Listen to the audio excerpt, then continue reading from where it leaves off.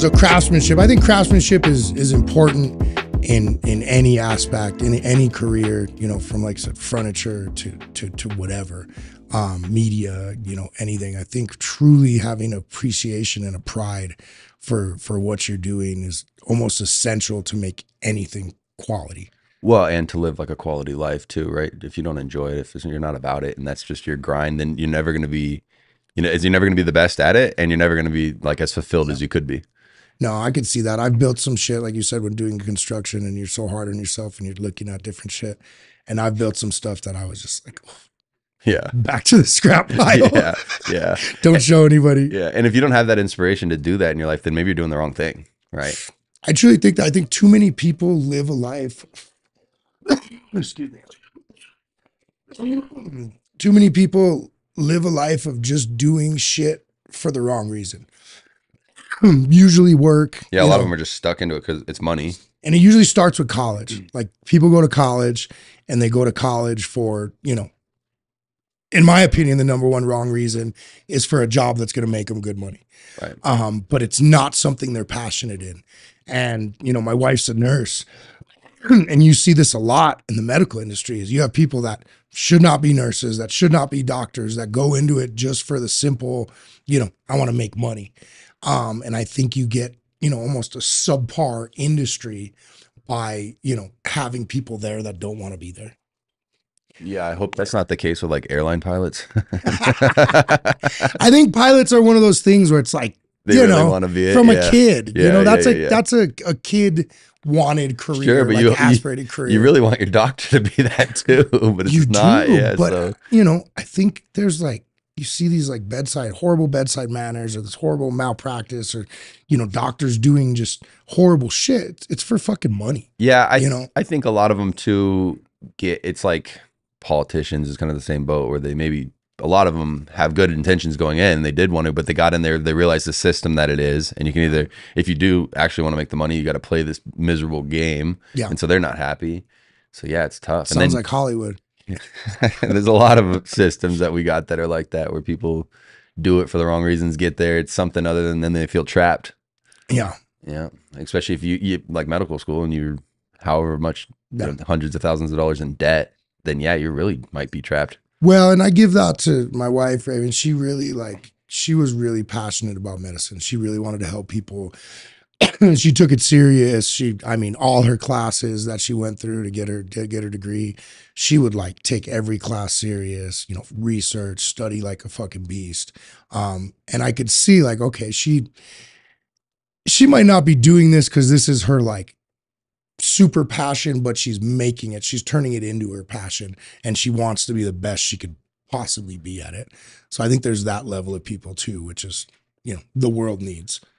Yeah absolutely hopefully it's you know you want it to be more that than than the other Yeah. and it's like how do we get it to that spot i don't know it's it's like we don't have enough time it, society tells us uh, by the time you're 18 you need to have it figured out pretty Yeah. much um or you're you're off to the last couple years of you better figure it out right Yeah. now and i think that's a problem i Yeah. think that like when i was in school it was if you're not going to college right after you graduate high school you're one of those dumb kids that's going to work at a minimum wage job the rest of your life pretty Yeah. much that's what you got Yeah, they totally wrote off wrote off the Mhm. tradesmen and, well and all the guys that were and what i realize now is doing for amazing things. so the school it's just because i got i stayed in the academic school the kids in like middle school that were you know labeled as problematic they ended up in the high school the remedial high school and that's what they did there they learned trades those Yeah. kids some of my friends that got sent to those schools are killing it they're Oh, like yeah. plumbers and, and contractors and they're making way more money on average than the kids that came from the academic school Yeah. i realized i just got shafted i should have fucked around more and ended up in the remedial dude all those skills would be much more valuable than anything i learned in the academic school Well, they're actual life skills. Mhm. Um, and you know, academics, I think the main goal is just teach us to be workers.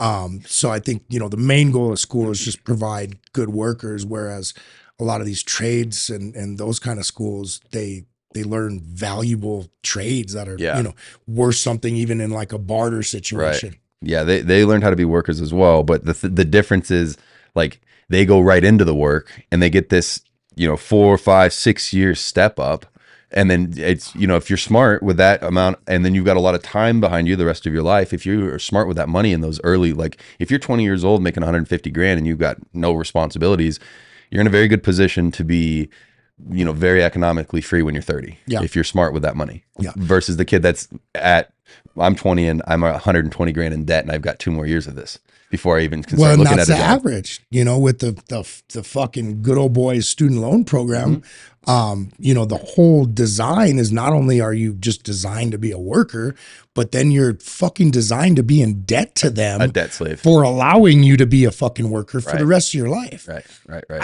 I, I, we still pay my wife's student loans. Of course. I- and Yeah. you know what? I took a, a very, most people don't know this about me, but uh, I was really into architecture.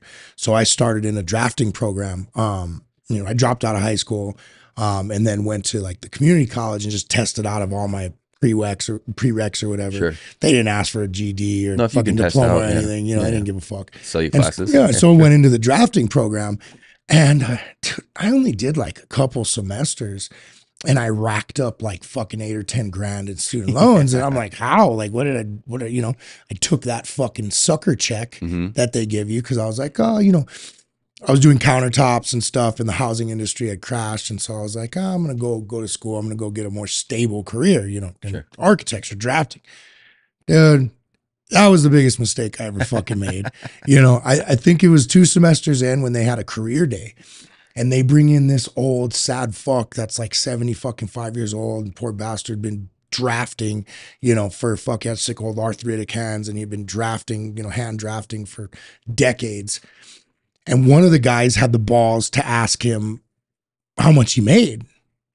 And, you know, he he spouted out, you know, some salary, which basically equivalented to like um fucking 16, 17 bucks an hour. right You know what I mean? the amount of work and- that he's putting in yeah, and and he was basically the drafters were the architects bitches. Yeah. They did all the work, you know, they Mhm. were the fucking the punk and you know, they didn't get any credit for it and uh dude, I went out on a smoke break and I was like looking around and I was like fuck, like when I was doing granite and doing construction work, I was making over $20 an hour and I was like what am I fucking doing?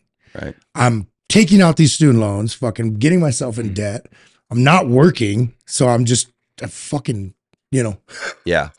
Well, and it's it to me it's like I think academics should be reserved for very specific fields and and I'm saying like culturally what I think might be a more successful system. I'm not telling anyone what they need to do, but I think like for my own life I- I would like to go back in an academic sense when I'm like 60 and learn that's when I would want to go to like get the academic history or you know like various aspects of academics that are interesting to me but oh yeah, go take art classes, go Exactly. fucking take When music older, right. classes. Yeah. but but what I wanted when I was you know 18 was training on skills like the shop class and you know I wish I was a better welder. I wish they had taught me how to weld Yeah. when I was 18. That you know how valuable that skill is throughout life. Like if you're if you're 18 trying to figure out what you take a strong look at welding because man that's an endless career. I so wish I was a better welder. So I'm the fucked up generation that was there in in New Mexico where they took shop, wood shop, metal shop, and auto shop out of the high schools. Yeah. So, and, and, you know, I didn't have dad growing up or whatever. Um, not many good mal mal influences, and I could have really used those. I did take woodshop. They took it. I had took it uh, freshman sophomore year, and then they canceled the program. Right. Um, no, just freshman year, and then they canceled the program my sophomore year. But there was no auto shop, there was no welding shop, and yeah, those fucking skills are so valuable. You know what I mean? And I could have used all- of those skills in multiple aspects of my life. You know, now looking Yeah. back. Right. Um, so yeah, no, that would be some like continued education that I would take, not for a career, but just for personal life survival skill. Right. Right. you know, like yeah, hobby skill. Exactly. Right now, I've the the local college, little whatever community college has a welding course. I've been like, now's the time I can afford to pay cash for it. I can go learn to weld. You have the time. yeah, I have no, I don't have the time. That's the problem. I want to Well, do when, I, when I'm like fucking sixty. That's Yeah. but that's too late. So uh, maybe when my kid's old enough to go with me, we'll go do the welding class Yeah. together, or, or just I'll just train them to weld. I don't need to do it if he can do it. So I guess we should get started and introduce you. Um, welcome to the Pharm Table. Uh, for those of you, those watching that don't know who you are, why don't you uh, let them know who you are? Uh, my name's Dustin. I live in the woods. Um, uh, I uh, I also have made a little bit of a name for myself in the cannabis space. Um, I'm known as Future 4200 on the internet for the most part. Um, I've got an Instagram. There's a forum. It's named that as well. And then we also run the Good Life Gang yeah. membership discount club for cannabis processors, but really just an excuse to throw cool parties. Yeah. We did that last night here at, at Pharmers. Uh, We did that last night and the night before. we actually had two nights of parties. Yeah, we partied pretty hard. Here. I think there was a CannaCon too. A That- little that- bit, yeah. I- we were there for a couple hours. CannaCon was all right. The party last night was. I had a bunch of people that were like, "This was way more valuable than the conference." Well, and you know, I'm one of the original members of the Good Life Gang, and that's one thing that since you know my first event and since my first convention, um, there's only so much networking you can do or even want to do on the like event floor, exhibit floor, but the Good Life Gang puts together all the right people, all the, in my opinion, all the cool, down to earth, intelligent, like minded, culture minded people at these conventions all over the country and then puts them in a private, more private, more intimate setting um, where they can medicate, where they can party, where they can let loose. But at the same time, I think the most valuable networking happens at those kind of events and not on the exhibit floor. 100. percent And I think the Good Life Gang has really captured that ability. You know what I mean? Everybody at the convention wants to know where's the after party. Right. Um, and you know, having a private, more exclusive, especially you know, member only, or basically you got to know somebody. Right. Um, I think is just genius. Yeah, it works. And really, just being able to consume. If you could consume openly at the conferences, like these after parties wouldn't really. Oh they'd yeah. still be all right, but it would be a different game. Well, and you know, and they have the official sponsored one every every year. Some company suckers in for that, and Their all the party. chads, all the chads go to that, and all the people that don't consume, and they go in there. I saw some some pictures from ours that we had here, uh, and good for them. Good for Yeah, them. no doubt. Because you know, I don't know if I'd want them fucking kicking it over here because that'd just be Yeah. you know the convention. hmm Um, but being able to get all the hash heads, um, all the real stoners, all the real people that have fought for this culture, this industry, this everything for so many years, being able to get those guys in the in the same place together, that's that's powerful Yeah. and fun. for sure. Um, yeah, it's worked out really well. Following around the trade shows and having parties afterwards, it's uh, that's a very successful model. Yeah, everybody's already here. We got a bunch of fly-ins. It's it's uh, slick. Well, and one thing that I've always gotten from the Good Life Gang was a ton of value in the actual purpose, and that's discounts for the equipment I buy. Right. Um, and that's where you know people, couple, and I'm honest, bro. I'm, I'm not fucking trying to get everybody in the Good Life Gang, but people have asked me like, oh, you know, what's the value in it? And I said, well, if you're buying fucking equipment, if you're working with you know these these ancillary equipment companies and a big range of different companies. Sure. There's a lot now Yeah. um, there's a discount involved. So not only do you have the networking, not only do you have the uh, the ability to access the forum and all the great minds and the ability to access the the back end stuff, the SOPs, but I mean, I think Busy Bee. I mean, I've saved Busy Bee alone. I've saved fucking 30, 40 grand with already. Yeah. You know, over a couple years of Right. purchases just from being a gang member. Yeah. Right. Um, C1D1 Labs. hmm Alex has treated me, you know, Alex has become a, a friend now because of the Good Life Gang. Right. And I mean, that guy treats me amazing, Right. you know, um, and you know, just standard Good Life Gang discounts will save you thousands and thousands of dollars. And and I think that's a lot of things that people don't realize. Um, so yeah, if you're in that extraction space, if you're in that cannabis space, um, I know you guys have done a lot more with brought on a lot more growers and Yeah. more Yeah. Dispensary owners and just Yep, cannabis yep. people in general. right. Um, but yeah, if you're in that space, just just the value of the savings is is huge. Yeah. And and we have a tiered down uh, membership for people that are kind of in that space. If you're in the industry but not a processor, you don't need the discounts, but you found a lot of value in the That's in the meetups, and you don't want to buy a ticket to each one. You can buy a you know the lower tiered membership and come to the the meetups. And I have guys that do that that just travel around and come to the meetups just to meet Yeah. people because of the networking um, along the line with not only do you get the discounts from these companies, but you get the chance to party with like the CEO. Yeah. And the thing, and and you know, when you get the chance to hang out with someone like this and talk to them after the show and hang out with them, you build these relationships that all all businesses, all the transaction of money is is, is relationships. And Yeah. so if you can build strong relationships with the guy that owns the company, yeah, you can get your gang discount, but you can also leverage, you know, a better situation overall. You could get better discounts just because, you know, you've you've built this relationship with this CEO of this affiliate company. Like the more you hang out with Huber, the better they treat you. no, exactly, and and so on, and and and you know, solvent direct, and- Everyone, it's and just all these business. Yeah. The other thing that the gang does that I think is really important, especially for the new guys coming on to cannabis, is they vet.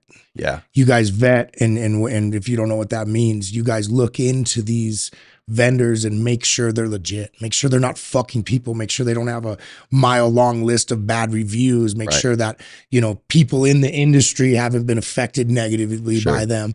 Um, that is so important. Yeah, and you can leverage your membership through me to mediate, you know, third-party customer service uh, issues, and we've done it multiple times. And I've dro- seen it. I've dropped companies because of their inability to treat people properly. I've seen it. Yeah, so you know, we we hold people accountable for their shit.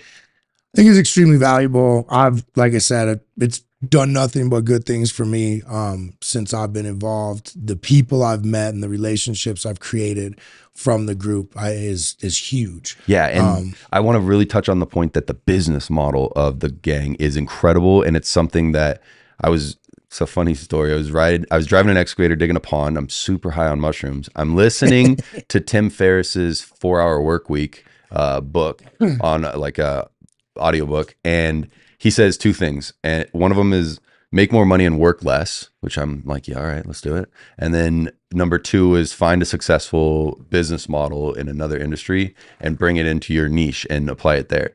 So I'm the member. I'm I'm a member of another membership support uh, company or a group. It's the Survival Podcast. He has the same thing. If you become a member, you save all this money on your prepping stuff, your seeds, your ammo, your like these Yeah. food, all, everything, like everything to be an off grid homestead kind of person.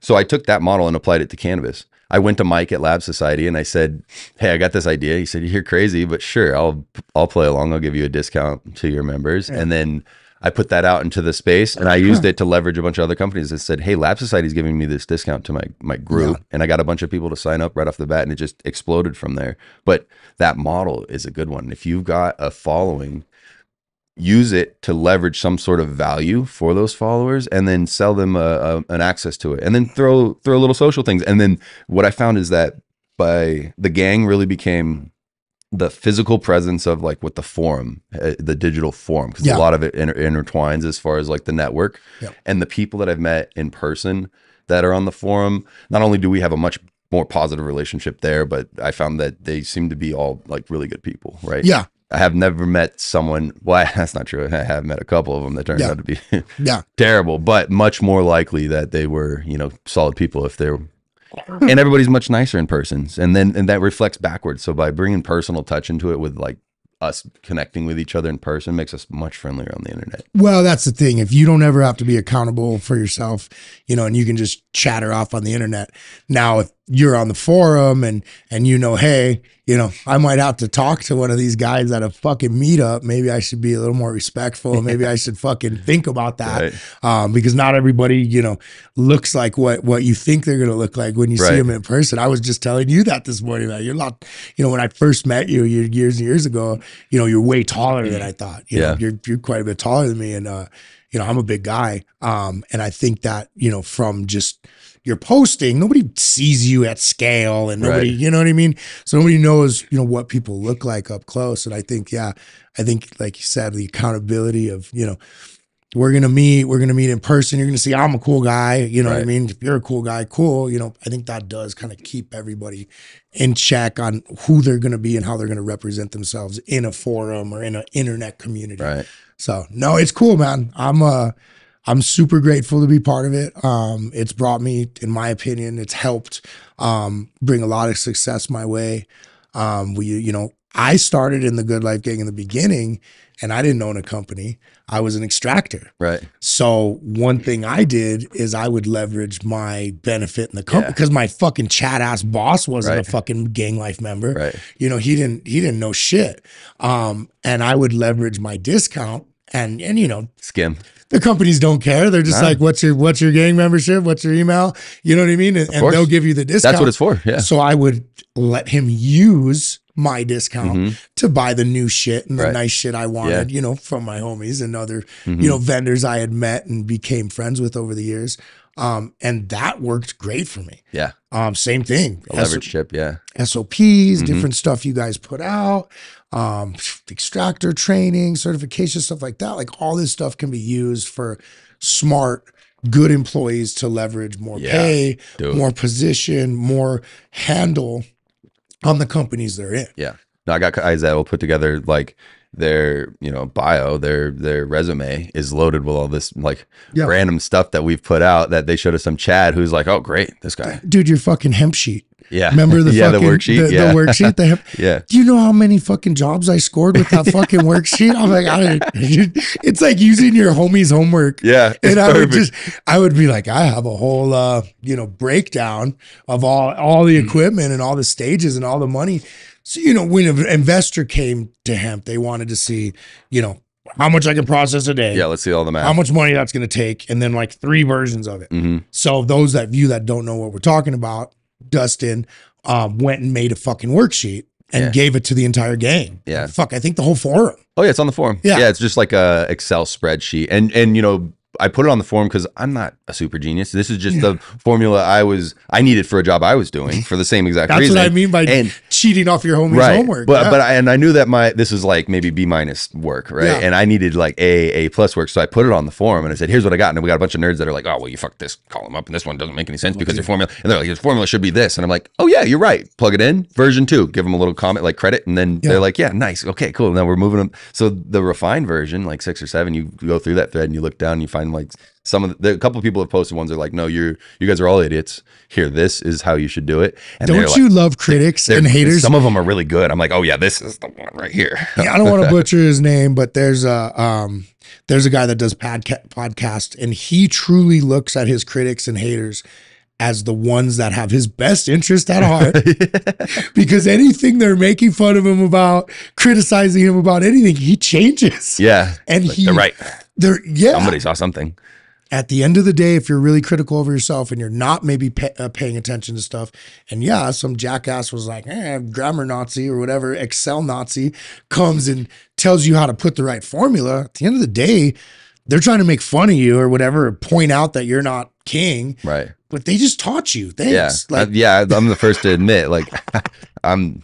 Yeah, I'm not. I'm not special. I'm not. I'm not the smartest guy in the room. Like, no, but that's super smart. yeah, And to put something up there for criticism and end up getting it done perfect, that's like, it's perfect. uh, there's this whole kind of like mindset that I found that the better you take care of the people around you, the better your own life becomes. Like this, you you said you've saved all this money. Like we have one small tra- financial transaction, and it's brought you a bunch of financial success. I've never asked you for more money, right? Yeah. But what you've given back in return is like endless hospitality, and that's always my goal. Because Yeah. imagine if you had a life set up like that where you could literally go anywhere and have the hospitality of everybody everywhere because you helped them all so much that they're like, please come come stay at my house. You know, Yeah. that's what now when I travel for these, I got five people who are like, yo, come come to my house. Like, and come, that's what you got for me. yeah, of course. You he what I mean? please You- stay with me. stay with me. You know, you guys asked, oh, how much do you want to to rent the spot? Mhm. Fuck no, it's, it's Yeah. we're gang. You know what I mean? And that's and it's way past the original fucking membership fee or whatever, the lifetime fee or whatever. It's way past that. Yeah. It's it's the support that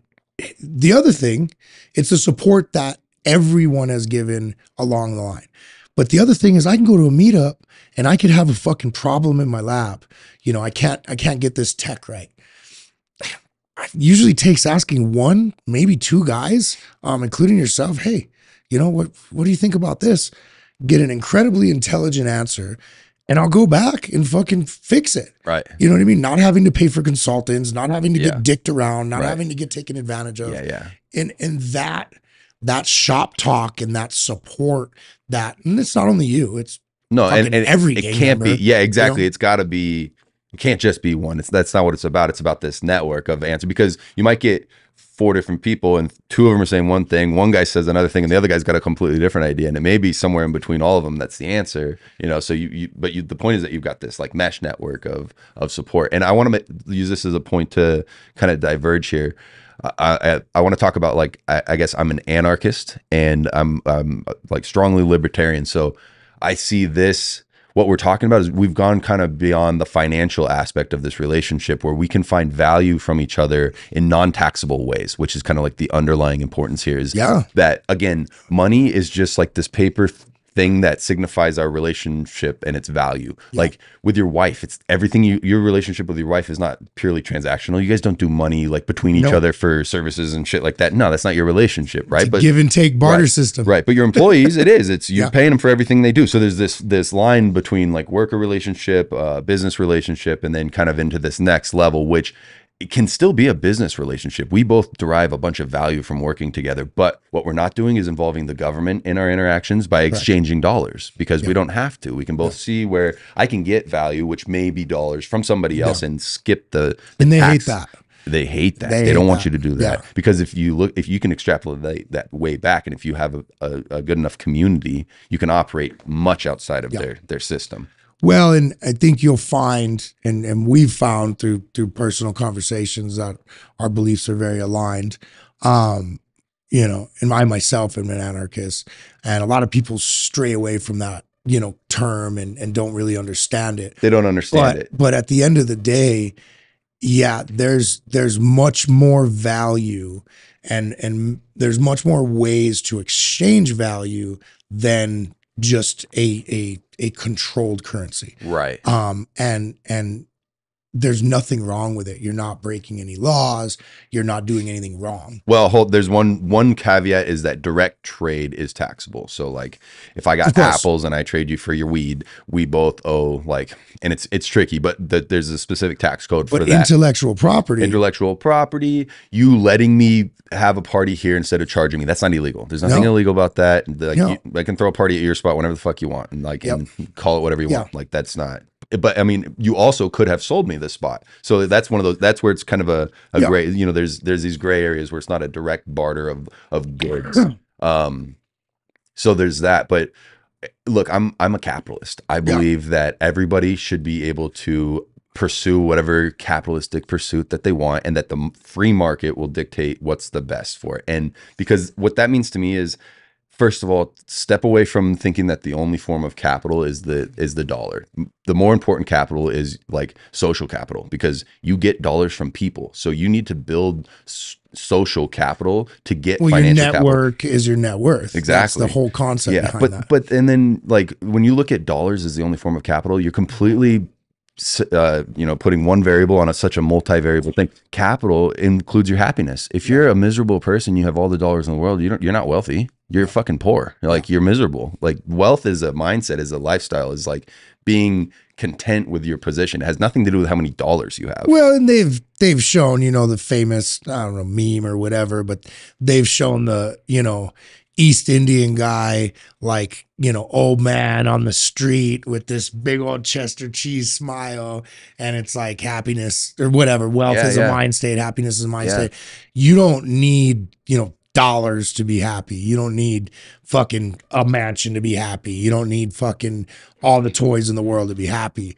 Um, it that there's a whole wealth in that Right. as well. Right. Most of the the now in our current system, depending on where you live, there may be a base level of wealth that you need to be to not be miserable, To survive. to survive, Yeah. to not be just uh, like broken. Yeah. A- And and that's you know location is is the important key Yeah. here because it's like you could go down to the beach of Mexico and there's guys that have very little money and their house is a shack, but they got a sick boat and they go out and fish every day and they're just having the best time in the world. And every now and then the tourist comes by, they bring them out, they make some money and they go on for the next couple months and they're happy as a clam.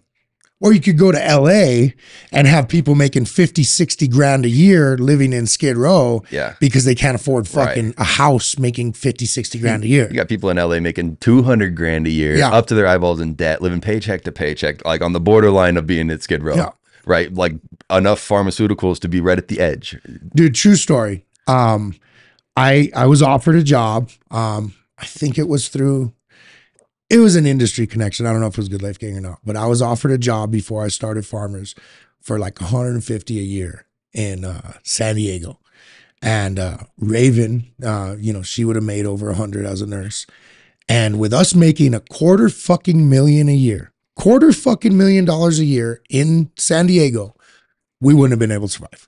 No, We, no. Okay, and let me take that back. We would have been able to survive It just would have been but tight. we would have been not able to live the same lifestyle Right. we were modestly living in New Mexico. right, right, right. Um, and our but make three times what we were making. right. You know what I mean? Yeah. Together in New Mexico. Yeah, nuts. Um, and that was like weird. Yeah. And and that's what you're saying. Same thing. You live on the beach in Mexico for fucking you know fifty cents a day. Yeah. You know I mean? Thriving. Yeah, that's just that's what beer costs. Everything else Yeah. is basically free. Everything else is yeah. yeah. Eh, wealth is so different and success is so different from person to person, mind to mind.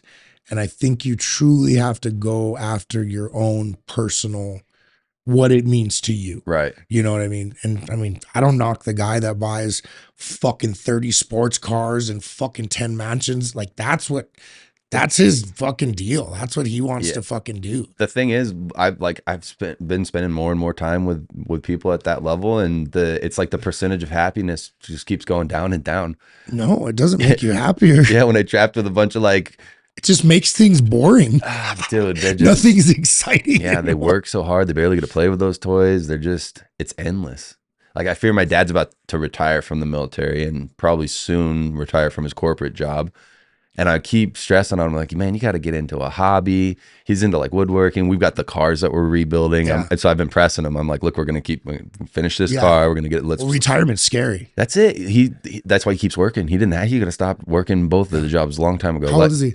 He was born in 66. So what's that? Like not yet 60, My mom right was about born 60. in 67. Okay. So they're the same There age. That's crazy. Um, but yeah, he, but he keep, he was telling me like a couple, a month or two ago, it, he got really close to almost them kind of giving him a pathway to maybe the next step past captain, which is Yeah. like admiral, which is now you're Yeah. talking like you potential politician, but it didn't happen. And I was like, man, I keep, you're never going to retire. You're going to work till you're 90 and then you're going to die. Well, and and you know, there's there's a couple concepts there. Some people say that if you stop working, you die quicker. And the ones that do work till they're 85, 90, you know, they live the longest lives because they never stop ticking. Let me just clear something up. You need to stop working for the man. Yeah. Well, You need to- exactly. Step one, stop working for the government so you can start smoking Yeah. some weed and doing some mushrooms with me. Step two, stop working for the corporate chads and then start working for yourself again. Like like I said, get into a hobbies. Let's you got all the money in the Yeah. world. You're you're set for life, Yeah. both of you are. Like your retirement's perfect. Yeah. Start working on the cars. Let's build more cars. It- like you can flip them if you want to. You Let's- know, one thing that's hugely inspirational about you, um, that most people that follow you know, um, if they follow your social media, um, is your you're independently comfortable. Mhm. You do what you want to do. Um, you're young. You're really young guy, um, and you haven't had to work for the man necessarily um, in many many years, Right. Since you were really young. Yeah. um, you know, I had the ski resort job that I got down to like does- yeah, one weekend a month so I could keep the pass and I had I was a W two employee. But we had that. I had that question for you the other day. I was like, you, "What was what? Have you ever had a job, man?" And you kind of smiled at me, and I was like, "Like a," and, and he's, you've said, "I've had all kinds of jobs." I said, "No, no, no, like a fucking regular job." nine to five never. and then that's what you said. Yeah, it was a basically a teenager job. Yeah, pretty much. Yeah. I mean, so when I dropped, out, I, I worked. That's not true. When I was in college, I worked uh, at the USDA, and so Okay. for uh, like a summer and into a fall. And during the summer, For school, um, Was it like an was, so was- I worked for the federal government, uh, but it was a school thing. I got credits. It was at the school. It was That's part cool. of the Cool. ag Yeah, yeah, program. Technically, I was a federal employee. Um, but it was it was I worked for this seed scientist, and she was uh, like specialized on allium, like Yeah. garlic. So it was a lot of like sorting dirt from seeds, and they had all these different screens and stuff. And then Uh, it was out in the field in the summer planting, and we had to put these bags on them to catch the pollen. I took Yeah. care of plants in the greenhouse. I watered the salvia greenhouse, which was cool. They had a whole divinorum row. All I heard from that was the government uses student slave labor to do their fucking ag studies. Yeah, pretty much. They paid me minimum wage and I got credits for it, so it was okay. It was cool. One of the things I got to do a couple, few cool things. One of them was they had this organic orchard, and I got to drive the game warden around every now and then, and he'd shoot birds with a shotgun because it's like organic, and that's Fuck how yeah. they do bird control. This is so crazy. It's like a state employee. uh, and then the other one was one time I got to drive. They had this trailer, it's like this big propane trailer, and a big tank and a fan, and you put the like fan blower thing down into the the gopher hole, and you'd load. It had like a timing cycle. You'd put it down in there, and you push the button, and load it with like air and propane, and then it would torch it, and it would go and blow it all out, and it'd torch all the little gophers in the in the same orchard. It's really cool, super cool. Fucking That's how your organic veggies are grown, you vegans. You know, I once saw a meme that kind of incorporated a little bit of that knowledge about very cruel pest control procedures in farming. yeah, Basically, is what it was like you know, overall. Um, and vegans have no clue. No, I mean, look, if you're gonna compare Oh. store bought beef that was finished on corn to uh, you know, industrially produced vegetables, yeah, dude, I have the idea for a documentary all right, go. Because you everybody's seen the the animal documentaries. Right. I've seen them. I've. I've Yeah, cried. It's gross. I've cried. I even told you like Yeah, I, I let's you were like do some cows and I'm like I couldn't eat them. I, oh, well, they're my friends. gross. You know what I mean? Industrial So, but but industrial cruelty. But anyway, Yeah. so I like I'm so if you made a video that highlighted the industrial pest control basically practices Mhm. and like go undercover to the gopher torture and go undercover. to school. dude no joke dude. I had a buddy that worked for the air force base out here and his he was the pest control specialist. I mean he had actually a really cool title. It was like some crazy title but he was like the pest control guy on the and he had one day I, I went to his house and he was cleaning a bunch of fucking weapons a bunch of rifles handguns like crazy shit looked like some like grenades little like fucking charges and shit i'm like what are you doing bro and i was like what's all this shit and they were very expensive, like high powered pest control weapons, Like air guns. different air guns. Yeah. There was like flashbangs and You watch different any type of of. videos?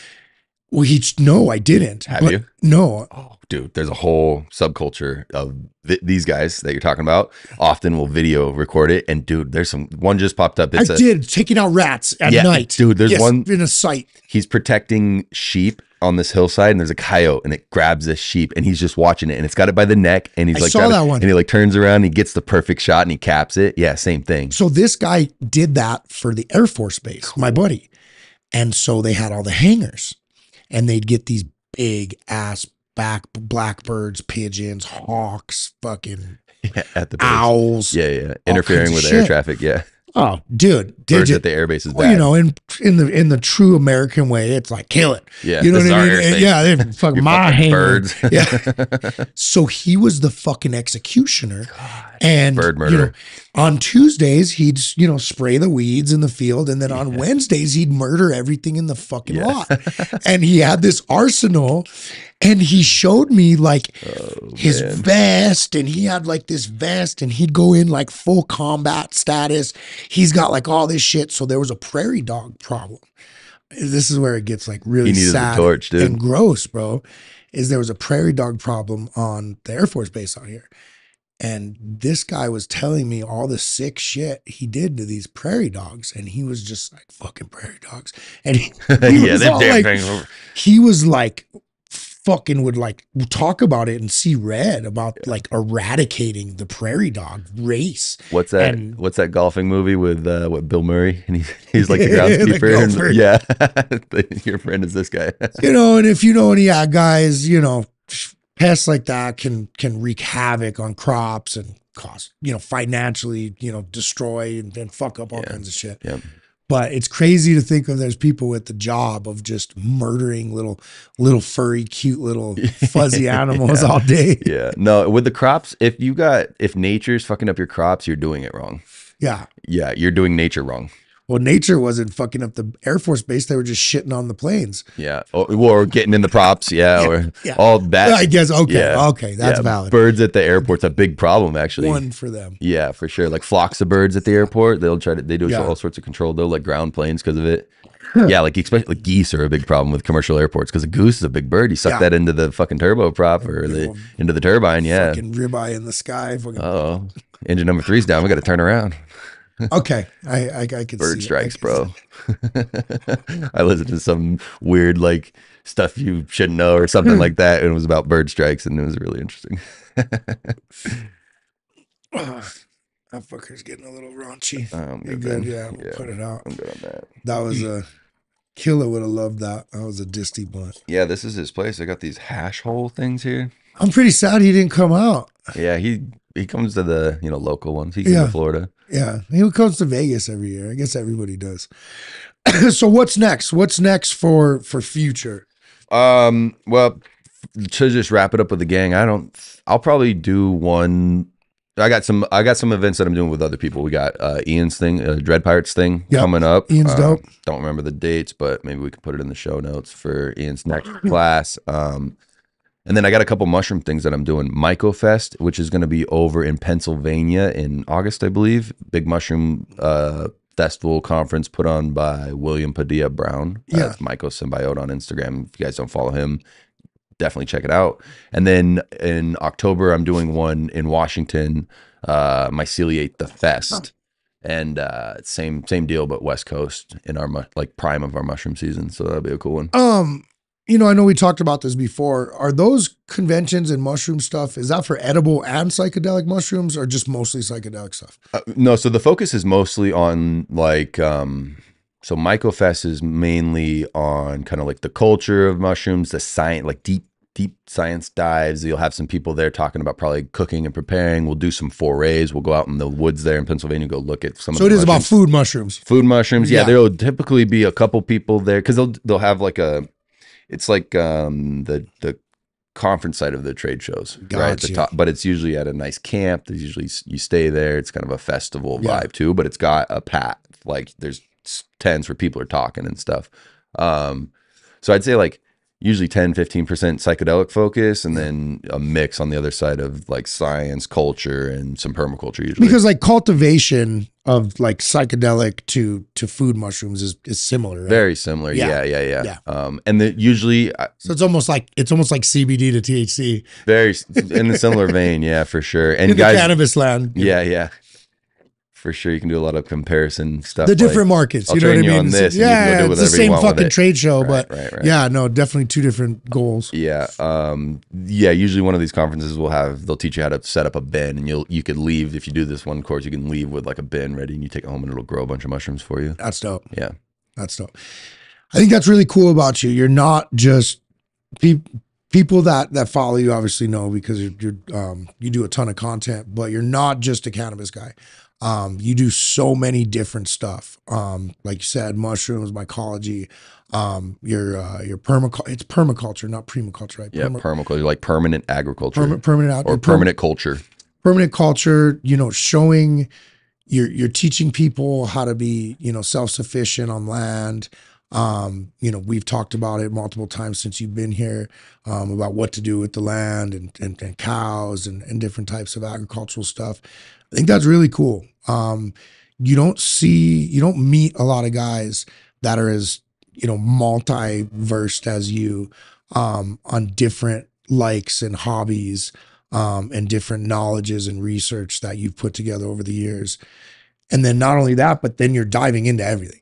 Like I see you out there, you know, you, fuck, I would say honestly, cannabis content is like your least I see. Yeah. Probably because of fucking Instagram, but Yeah, You know that, I uh, mean? yeah, exactly. I've I've learned they've trained me good. Like, Yeah. don't post about weed. We'll, we'll we'll squash you and just kick you off our platform if you keep talking about weed. So but and and maybe that's where it it kind of forced you to do other content Mhm. but your content is so diverse and your content is so like robust Mhm. you know you'll talk about so many like intelligent cool things like you know as far as like popular people on the internet and like influential people like you have so much education behind the content that you post. You know what I mean? Right. And I think that's like super cool, super honorable.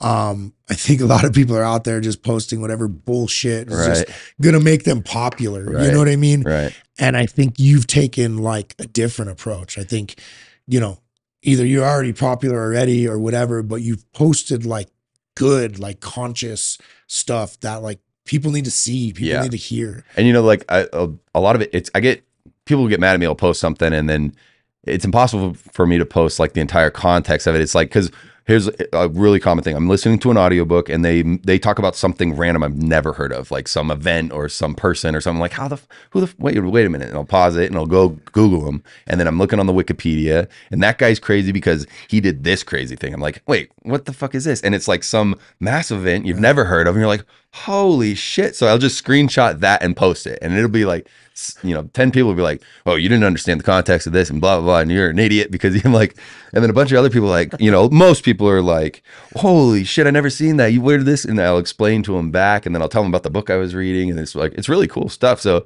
uh, it, but it's the internet's so weird because you didn't get the whole, you know, the whole experience. You just got this one little snippet because that's just Yeah. how I'm working. You get like, attacked a lot. yeah, I mean, not a lot, but Yeah, you know, it's the enough. internet. Yeah, Yeah. exactly. Not a lot, but Yeah. yeah, it, it's just not even attack, but I think there's just a lot of people that are in such a, Misunderstood. or I think a lot of people are in such a bad spot in their life that the internet is where they're at to vent, and Yeah. they're even if they're not intentionally doing it, their approach to talking to people is just negative and like We've been told that since we were little kids. Like if somebody's, you know, when we were little kids, somebody's making fun of you or the, bu- the bullying bully you. someone that got has, bullied, right? has these horrible things that Trauma are going on with From them. a place of trauma. and it comes from a place of trauma, psychological, whatever. But Uh-huh. you know, and I think as we move into adults, it's the same fucking thing on the internet. hmm Um, there's no accountability. Right. They don't gotta they don't gotta answer nobody. They they feel that they are, you know, ghosts.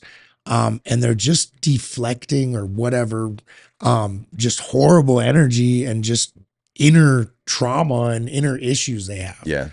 And that's just it's sad. I've gotten to a point where if you're just consistently negative, I'll just put you in one of the little Instagram little you can compartmentalize people. You put you press the restrict button and they still can interface with it all you want, but you don't have to see what they're saying and it stays over here. Yeah. And because you've just shown me a pattern of always being negative for no reason. Like and Yeah. I have so little time to like I try to still, you know, I try to communicate with as many people on Instagram as possible just because it's been such a powerful tool. But it's literally impossible. You got, you know, once I got past about 10,000 followers on there, it become just in, in- unmanageable. It's impossible. Uh, so I, but I still try to do my best to at least, you know, engage with people that try to engage me. And if I'm constantly on there and I, a lot of time my engagement will just be like, that I've seen it, like Yeah. it popped up. Sorry guys, I don't like. Sometimes I'll hit it real quick to give you a little heart. Like, yeah, that's you know. But people be sending me videos and all this shit. I'm like, look, I don't really have uh, cool thanks like nice and and if you're one of those people that i'm you know consistently conversing with then good for you like you found how, the how many how many DMs do you think a day you get? Ooh, that I, I wonder if it i'm sure it tracks the metrics i'd like you to think see it's hundreds? hundreds at least hundreds to thousands depending on what i've posted I I don't think people realize that. So I'm I'm definitely not as as famous as you are, but I get about 30 40 DMs a day. hmm And it's hard. right It's hard to a half of them are requests. So they sit there in the hidden request right file right right right that nobody gives a fuck about. Right. And I like once in a while go through it and be like, "Oh my god, what what the fuck?" yeah Um, but anyways, so you don't see half of them and then they just keep coming. yeah They just keep multiplying coming. multiplying So at the end of the day, when it says you have so many fucking messages, you're just like clicking, and yeah half the time it's homies, half the time it's like I said, people that are, oh, I gotta ask you this question, and it means everything to Mhm. me, and and you don't mean to be disrespectful. It's just Right. And I can't hire that out. It doesn't Yeah. make any sense to hire it out. You're going to get No. scammed. There, that, that's not even the point. Like I'm, I'm trying to have personal. So it's, yeah, it's, it's just, you just do the math. And then that's, okay, then there's Instagram DMs, which is overloaded. Then I got like a bunch of important emails and I got like two calls scheduled today and I got a baby waking up at five, right? And I got like chores to do. To, so like, it's impossible. I'm, Yeah. I'm, I uh, did really well for myself long before I ever had Instagram, right? And life was much more simpler then. Um, and Instagram has been a powerful tool to like multiply that out into, but it's it's like a it's not the most important thing in my life. So Yeah. it's like a very Yeah. side thing. I don't think people understand that. People have a hard time breaking out of like social media reality and realizing that, yeah. And Mike like himself, I have a fucking company to run. I have you know, three kids, but two that are still at home, Mhm. four fucking dogs, a house, all these responsibilities and everything else, and fucking four Instagram accounts, you know Yeah, what I mean? exactly. And a Facebook Right. and whatever other bullshit. Yeah, it's too much. If you want my like undivided time, come to a meetup. Yeah. Yeah. I we like if you have a membership, you can come to them all for free. I sell tickets to them now, and honestly, probably half the people here last night were here for free. Oh, they broke in at the ca- at the CannaCon. There became Yeah. a rumor that this was the Mhm. cool after party, Right. And yeah, there was a pus- bunch of randoms. And look, we're we're cool. Like Yeah. if if you can figure out a way to get past, and some spots we have more security than others, we have to just like based Yeah. on the venue. But and it's much more difficult to get in. But if you find a good way to, and if you're here and you enjoy it, and I had a guy that he came here for free. He was like. You told me about a membership earlier, and uh, I explained what I did, and you told me that the membership didn't make sense, and you tried to not sell me on it. And then you said that there's a meeting tonight, and we there's tickets, and we found a way to get here. And he's like, "This is dope. Let me buy a ticket." Like Yeah. I didn't have to, but I was like, "Nice, dude. Thanks." That's I cool get that a lot. Yeah. Yeah, no, and it was cool last night, man. It's it's cool to see people that are coming up and, and meeting you for the first time. Um, meeting, you know, the Busy Bee guys, um, Boris, Cal, Kyle, um, meeting them for the first time. Um, that's one thing you said earlier is being able to connect with the owners of these companies, the you know founder of the group, the you know being able to connect connect with these such such cool, unique, big personalities is is like priceless. You know what I mean? You can't put a value on that. And then yeah, you know, people that that follow you and want to meet you and and want to, you know, ask you a question or you know what I mean, you know, see how see how you are. That's you make yourself extremely available. Right. Like this isn't uh, these guys that he's talking about and me sitting at some table signing autographs. Yeah. like don't get it twisted. We're having a big party sesh and we're hanging out Yeah. with you. You got like show me what you brought to smoke on. Like let let's sesh And everybody does. Everybody knows the knows the drill. Yeah, we all know the vibe. There's Everybody's no, got a backpack full of their best. Yeah. and everybody's you know there's there's tables everywhere you know it's set up to to to get down to business Exactly. and and everybody's hanging out Yeah. and and on a real level no you can't smoke here you can't nah, nah, nah, Yeah. you know we we make sure you make sure that there's an environment where where cannabis people can be free to hang out without Yeah, we wouldn't have know, an event if you couldn't consume. repercussions, you Exactly. know what I mean? Yeah, that's So- that's our like core directive is step one, good hash. Like Yeah. we're not gonna have an event anywhere chadly enough to not let you smoke. Good Pass. hash good food good Yeah, people last it. night bomb food Yeah, the food was great last oh night. fuck all weekend dude Yeah, food was better the night before. my 14 year old when he when he, when met, we left today, he was like, "Bye, Dustin." he was ready to give Dustin Yeah. a hug. He's like, "Wait, let, Got a letter written, written for Dustin. But first night Dustin was here, uh, he, I gotta tell the story. Uh, he tells me as soon as he gets off the plane, he's like, or before he even got here, he's like, "Where's the butcher?" And I'm like, "Oh, for what, man?" And I don't know why. Go out to the I'm a country. fucking stoner. I'm like, "Are you bringing like?" A fucking cow? Like, what? Did, why do you need a butcher, dude? You know what I mean? And he was talking about the meat store. You know, go buy some steaks. Um, so I was like, oh, there's like one good, good steak store in, in the in the town. They've been there forever. Shout out Keller's. Um, so we went like from the airport to get these steaks, right? And Dustin buys like all this fucking steak to make dinner um that night. And uh, you know, long story short, we run around all day getting fucking food ingredients. Um, and we get back to the house, and my 14 year old son walks up and he sees Dustin, like he had already cooked everything, and my son's eyes are all big, and he goes, Dad, um, is he a famous chef? and I was like, Hey, Dustin, he thinks you're a chef. And I was like, I was like, I don't know. I, I mean, he looks like a chef. I but- am now." but uh eh, anyways dustin made this fucking amazing steak um and i knew in the car i was fucking in for something because he starts telling me the tech.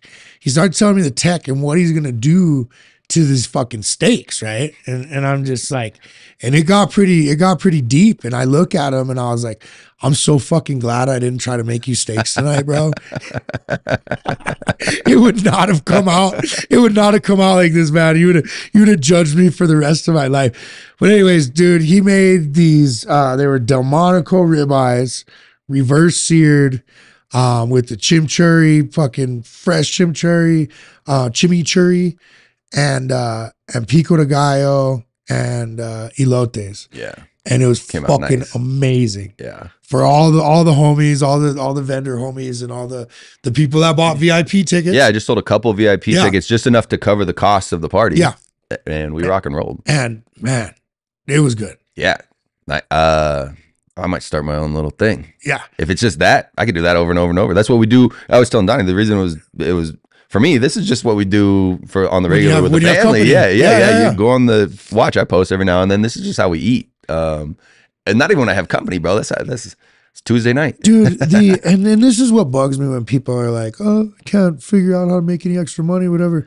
The hustle is unlimited. Yeah. You could do cooking fucking classes. You can do dinners with fucking Right. Dustin. Well, You know what I mean? Look, And- making more money also is the inverse of spending less money. So the way I live and eat is all because it was cost optimization. Like, yeah, I mean, you may not be able to uh, raise your own cow. I under, and I would argue that you probably can. And I can show you a way with very little capital that you could Yeah. start raising your own cows on It's someone usually else's space. land. Right, it's Yeah, space. yeah. yeah, space is a big one. But you can Um, lease land from farmers That's for fairly cheap. Hundred percent for uh, no people will pay you to maintain land. Yeah. and you people will pay you to fatten up cows. So the that combination of those two, the hustle's endless, Yeah. right? And I can point you towards people that are explaining like specifics on that Yeah. hustle. If you're interested, come find me. I'll show you how you can you can hustle cows. But point being. I was telling Donnie on the way over, like on our food preps, it's a whole shit ton of rice, and I like w- what we eat is a lot of steak and rice because steak is what I grow, and then you know we've got the garden, so we're growing our herbs and stuff. The, you can save a bunch of money just by cooking your own food. You buying cheap roasts and preparing them and cooking them ahead of time, and then having meal plan for the week with a bunch of rice, bro. Cheapest, nutrient dense food you're gonna get at the grocery Well, store. and I know a couple families that buy either quarters or, or sides of beefs there.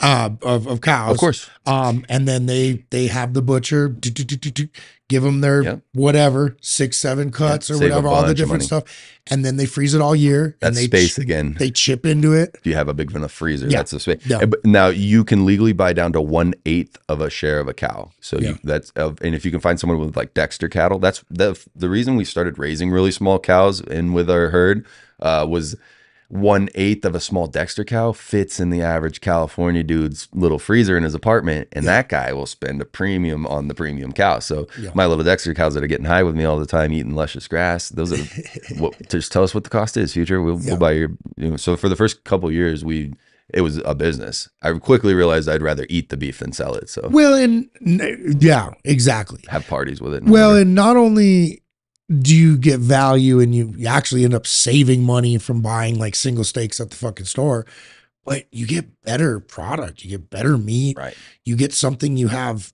Well, hopefully, if you did it right, you can trace what it's eaten, Mhm. the environment it lives in. Right. You know, did it did it sit in a fucking ten by ten in its own shit? Right. You know what I mean? You can just buy it right from the farmer. You you should go and see the cow while it's still alive. Yeah. Technically, you Or- you own that cow while it's alive. Technically, that's how those shares or work. in most ideal, like you do, just raise the fucker. yeah, exactly. Yeah. And w- the, look, I couldn't afford land to raise cattle on either. I leased it. I found a super deal on some land that was just sitting there doing nothing, and I you know we put signs up for it. I said you know pasture needed or pasture wanted for Yeah. lease, and this old boy found me. He's like, here, look at this pasture I got. I was like, yeah. I think that comes down to like one of the most important concepts that, you know, I was taught as a little kid. A closed mouth doesn't get fed. Right. You have to speak. You have to be able to communicate. You have to, if you want something in the world, if you want something just in your community, start asking people about it. Start talking to people, network with the right people. And then on the same thing in your industry or your career path, or in your case, like you're talking about in in in a new hobby or new, you know, thing you want to learn, network, talk to people. Right. You know what I mean? Find the opportunity. Don't make fucking excuses like, oh, I'm, you know, I wasn't taught farming or I don't I, I right. Yeah. know, When you yeah. see when you see all this stuff, I was not taught any of this. I- I grew up in the suburbs. Yep. We didn't learn farming. I didn't learn, you know, cannabis, any of that shit. I, Yeah. I was not a chemist. I, there- you know, we learned chemistry out of necessity because no chemist wanted to do it at the time. Yep. Because they said no, it's too risky. Yeah. So, well, usually you had to learn chem- a little bit of chemistry to not die. That was really what it was. It's like, It's- okay, I got an idea. Oh, yeah, it was like a, little bit to get further, and then you go further, and you're like, well, I I, I see now the, the route to going further, but I don't know what the hell I'm doing. So, Yeah. yeah. absolutely. That was right when we were starting to be able to like, we had enough money that I could go and kind of buy help from the chemist. They would interact that from that distance. I'm like, look, I'm doing this, this, and this. Photon was one of my early Yeah. mentors where we had you know exchange, and I said, look, I got all this these problems and some ideas. Can you help me refine? And he's like, yeah, this is okay. You could go this way. The rest of these, you're an idiot. Don't do it.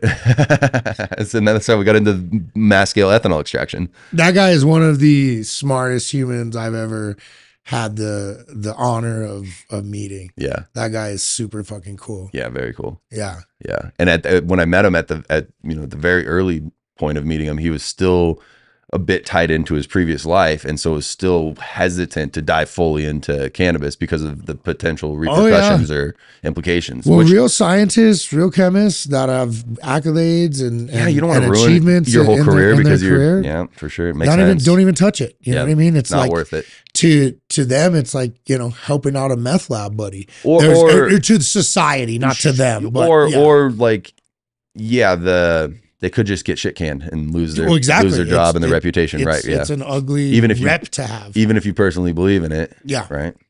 no, I think, yeah, you know, and I think that that that's a good note to kind of conclude on. I think that the the the world we live in is is really finally um taking a different look at cannabis. Yeah, it's good. And then mushrooms, and hopefully that helps ah. us all be nicer to each other. Well, and and me and you, you know, talked about this briefly too. Is is everybody just needs to communicate a little better, and and and be a little smart smarter on the political side of it, and and unite and and cure the world from just fucking collapsing Yeah. like it like it could happen. yeah. you know? Well, the world won't collapse. Just Well, all of us society. peasants will devolve into Yeah. angry mobs, and the Yeah. elite will just keep playing us like they are. Yeah. Yeah. So hopefully, hopefully cannabis and uh and mushrooms and good smart people will help that not happen. Yeah, we'll see.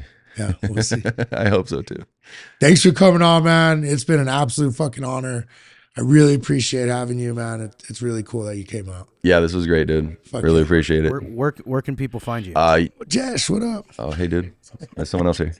Um, I'm on Instagram, Future 4200. The Good Life Gang's got one too. We're not super active over there. Um, and then the the forum is future4200.com, and uh, the Good Life Gang is goodlifegang.tech. That- Hell yeah. yeah. Oh yeah. Thank you, man. Thank you for coming out. And we'll definitely see you and talk to you real soon. Awesome, dude. Thank you. Welcome to the Pharm Table.